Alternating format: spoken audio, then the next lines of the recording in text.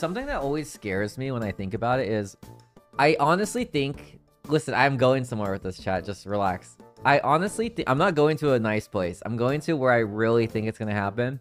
I want to say that if bugs could talk, there would be some humans that would get rizzed up by a bug and they would have sex. Not me, of course. And not any of you, of course. Okay, okay, okay. Hypothetically, chat, let's discuss. What bug would have the most riz to seduce a human? The ants from A Bug's Life. Praying Mantis. The spider from A Bug's Life? I kind of see what you mean. Let me look let me look for the most attractive bug. I'm gonna Google most attractive bug and I'm probably gonna be put on some list. Like FBI, I don't know if you're watching this. This is just for science. Also, I imagine that the bug, let's give the bug, like, it doesn't stay completely bug-like, okay? That's fucking weird. Like, it gets a little bit of, like, humanoid features. I think the most attractive bug is a bee. Whoa.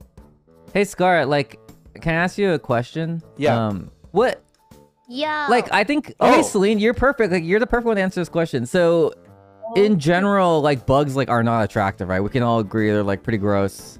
Yeah. Yeah. All right. So, like hypothetically though, if we were to be sexually attracted to like a bug, but the bug gets like super humanoid features, like what like hypothetically of course, like what bug would you would riz you up the easiest? Dragonfly? Oh. A dragonfly. Think of it like it's it has a human face and it like like they they they like it looks good. It's not like it's not straight up like the bug gigantified. Yeah, yeah. Dragonfly, right? That bug.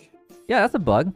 I would see. I think it's. I I chose the bee, and not because of the B movie, What? because that's the voice. The voice of him is the main character of Seinfeld.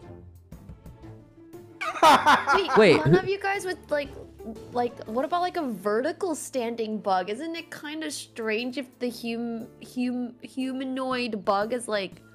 Okay, I would so- say Parallel Beedrill. I would say ground? Beedrill is a humanoid bug, Wait, wait, wait, and I would say so- that some sexual positions are on so- oh four Oh legs, God, or six, so or eight. Celine, it prefers praying mantis. Is that what I'm hearing?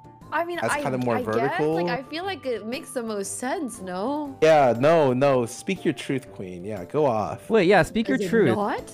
It's no, Speak it's sub- truth. it's subjective. Like we all are just we're all attracted to different things. Yeah. Yeah, you're so real for that, Celine. Yeah, that's I- that's not weird at all.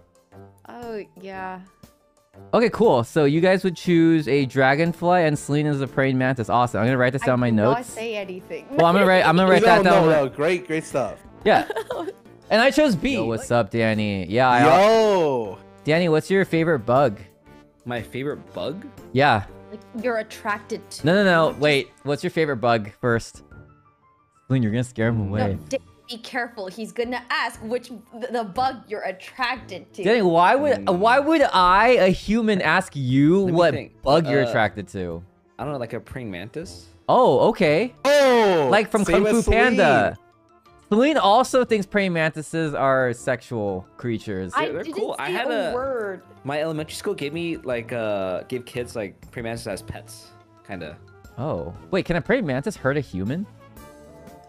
No, it was really small. It eventually just I mean just died. Oh. Like, You're Before a I was rose. You're a rose, and I'm a bee. That's kind of the same thing.